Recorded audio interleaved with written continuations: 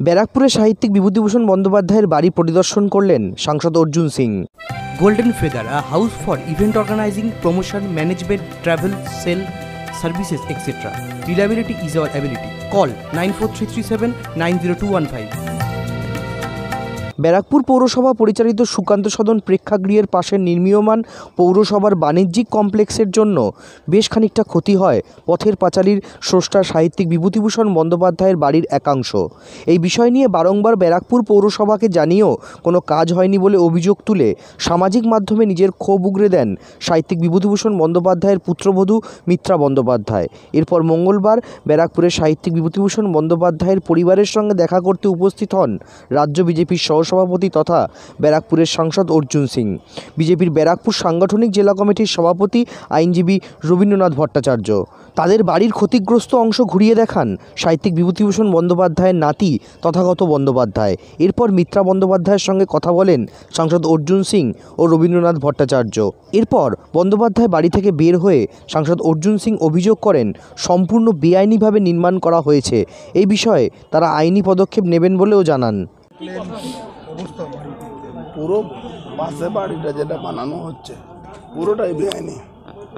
Municipal BM অ্যাক্টে কিছু না হলে অত বড় বাড়ি বানাতে গেলে কুড়ি ফিট ছাড় দিয়ে বানাতে হয়। যেটা একদম বাড়ির লাগোয়া বানানো হয়েছে। এটা পুরো ইলিগাল আছে। আর মিউনিসিপ্যালিটি এটা করতে পারে না। জোর করে করিয়েছে। আমরা দেখছি আইনের পথে।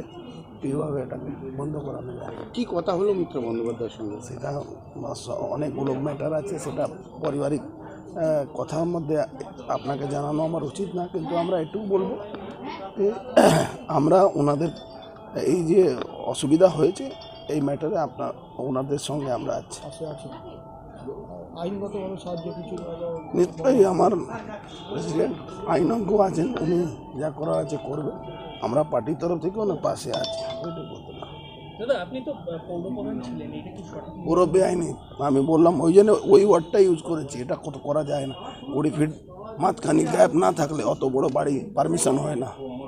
সাংসদের অভিযোগ সম্পূর্ণ ভিত্তিহীন বলে দাবি করেন ব্যারাকপুর পৌরসভার পৌর প্রশাসক উত্তম দাস এবং তিনি জানান ওটা ব্যক্তিগত কোনো ব্যাপার না, যেটা আইনি, সেই আইন মেনেই কাজ করা হচ্ছে। পৌরসভা একটা মানে বারাকপুর নাগরিকবাসীর একটা সংস্থা এবং সরকারি অনুমোদিত সংস্থা। সেখানে কোনো বেআইনি কাজ করার প্রয়োজন আমার নেই। আর কারণ ওটা যদি আমার ব্যক্তিগত প্রমোটিং হতো, যে আমার বাড়তি হতো, ই হতো, যেটা যে স্বাভাবিকভাবে হয়ে থাকে, সেইভাবেই হচ্ছে। কোনো নিয়মের বাইরে কিছু হচ্ছে না।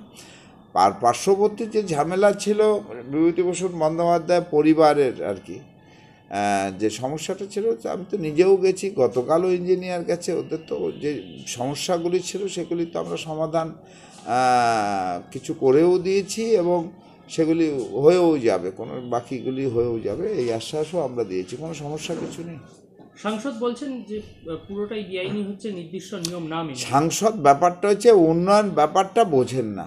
উন্নয়নটা কীভাবে কি হয়, না হয় যে কোনো উন্নয়ন, পৌরসভার উন্নয়ন, সেটা বাংলার উন্নয়ন বারাকপুরবাসীর উন্নয়ন, এই ব্যাপারটা আগে বুঝতে হবে, উনি কি আছে, না আছে, কোনো বেআইনি কিছু না, সবটাই কিন্তু পৌরসভার নিজস্ব কাজে, নিজস্ব জায়গাতে, যা হবে সব আইন মেনেই হবে, আইনের বাইরে কিছু হয় না। উনি বলছেন যে উনিও তো পৌরপ্রধান ছিলেন একটা উনি কি বলছেন সে ব্যাপারে আমি উত্তর দিতে চাইছি না। আমি একটা জিনিস যেটা বুঝি সেটা আজকে যে কারণে উনি গিয়েছিলেন বোধহয় অনেক বিস্ফোরক ব্যাপারটা মানে উনি শুনতে পাবেন দেখতে পাবেন সেটা এখন যখন কিছুই পাননি কারণ যে সমস্যাটা তৈরি হয়েছিল সেটা আমরা সমাধান করেছি কিছু এবং বাকিটাও হয়ে যাবে সে আশ্বাস আমাদের দেওয়া আছে। এবং এনারা আমাদের ব্যারাকপুরের একদম বাসির পরিবারের একজন সে কারণে সেই সমস্যাটা নেই। যখন কিছু পাইনি তখন এটা নিয়ে উন্নয়নটাকে বন্ধ রাখার চেষ্টা করছে। সেটা উনি হতে পারে সেটা কোনো সমস্যা কিছু নেই। আইনের দাস তো হলে বারাকপুরবাসী বুঝবে আমার কি ব্যক্তিগত ব্যাপার আছে? ওটা তো আমার বাড়ি হচ্ছে না, আমার ঘর হচ্ছে না, পৌরসভার জিনিস হচ্ছে, পৌরসভার সম্পত্তি হচ্ছে, পৌরসভার সম্পত্তি। সেই বারা- বারাকপুরবাসী বুঝবে যে ওনারা উন্নয়ন চান না, এই কারণে উন্নয়নটাকে বাধা দেওয়ার চেষ্টা।